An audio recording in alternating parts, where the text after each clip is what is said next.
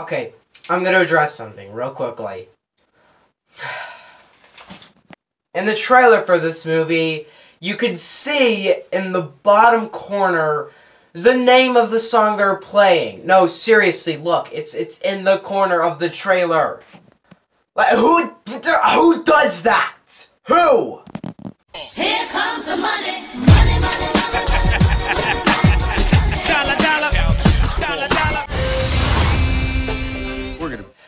Small, small. I can't reach my foot. It's just it's, it's small foot.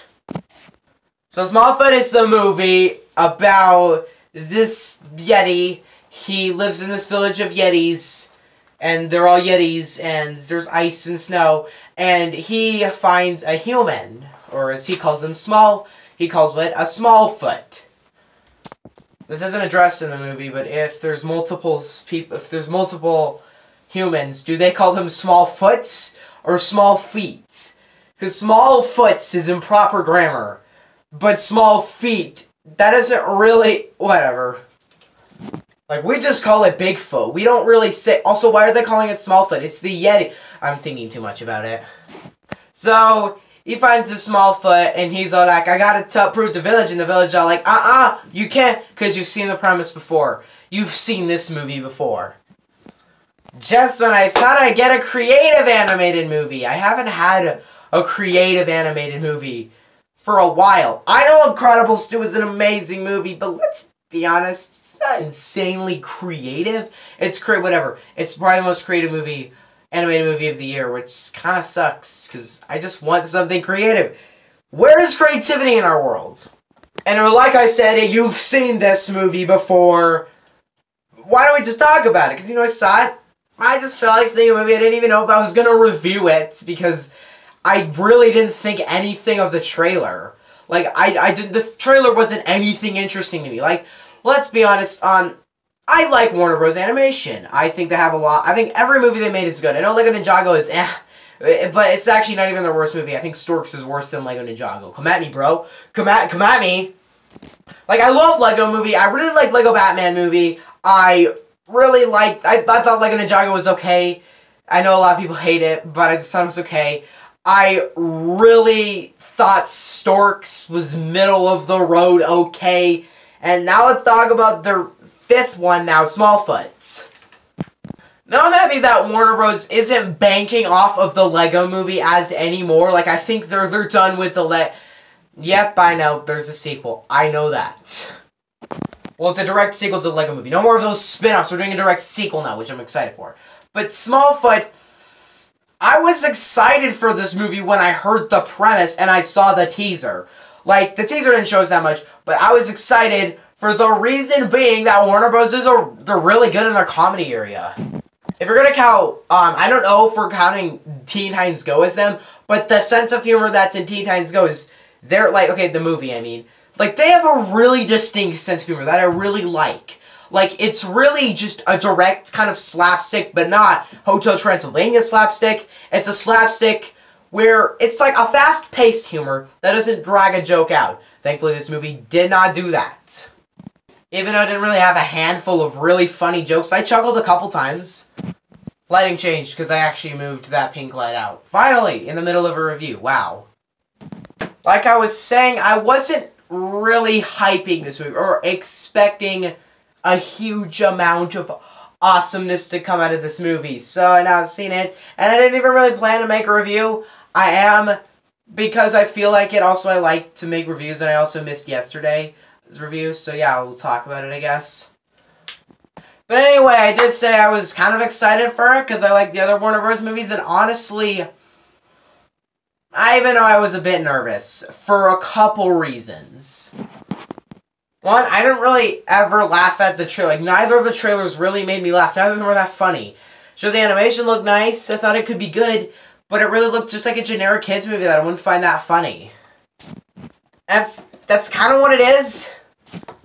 It's a generic kids movie that adults might find some jokes funny. Because I, I laughed a couple times during it. But for me, I didn't think it was that funny. Which sucks because I find Warner Bros. very funny. And this is the first time where I consider the movie wasn't hilarious, other than Storks. That one wasn't hilarious. It was funny, but not hilarious. God, the line between this one and Storks is so clear. Everything I could say on Storks, I have to say for Smallfoot, which is why I didn't review Storks yesterday like I planned to. Because I was worried that if I did want to make a Smallfoot review, it would be the same review as Storks. Like, I thought I would have the same opinion on the two movies, so I didn't review Storks. Also, because no one really cares about Storks anymore. But I was right. This is a very similar movie. Has pretty much the same messages, has the same type of characters, has the. It's very similar. Very similar. That being said, I enjoyed Storks. So did I enjoy this movie? Yeah. Let me just get this right out of the way. I already said it, but it's very cliched movie. That I can't stress that. You will predict the entire movie. I did. It's a predictable movie. But there's a couple other things I liked out of this movie, like a lot. One, the acting. I didn't really know any of the actors, but I thought they were all good. Le- LeBron James was good. That's a dead meme. Um, I also liked James Corden. He sings a song in the movie, and I was kind of impressed. Like I didn't, I thought it was gonna be really bad, even though I barely remember the songs.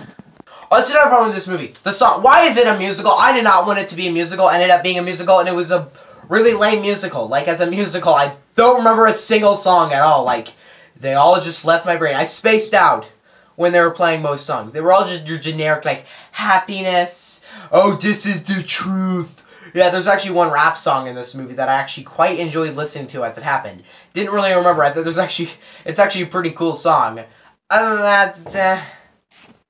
God, I think I might end this review right here. I've barely anything to say. It was okay, I guess. Because in the end, Smallfoot's everything you saw from the trailer. It's a bit predictable. It has cliched characters. It has a cliched plot. It's a trope mountain. It is filled with it. It saves itself by having likable characters, beautiful animation. I love the animation in this movie. Um, an interesting premise, some good comedy sprinkled in there. Overall, it's probably Warner Bros. Animation's worst movie, simply because the other ones all made me laugh pretty hard. This one didn't really make me laugh that hard. It's still an okay movie.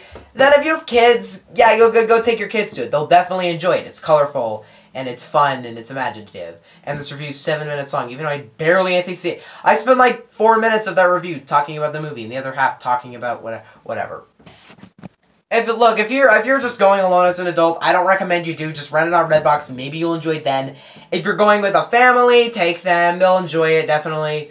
Um, this is a movie that I think you could check out if you want. I'm not really like saying you have to check it out or it's terrible, but it's okay. I will give Smallfoot, uh, I guess, a seven. You know, that's like the first time I came up with the rating on the spot because I had no idea. I was thinking six or seven.